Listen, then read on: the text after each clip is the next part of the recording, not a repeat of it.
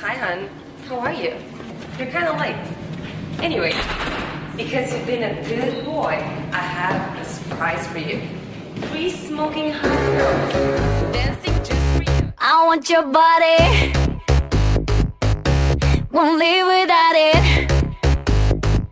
So turn up the party. I'm feeling naughty. Sit close to me. I'll be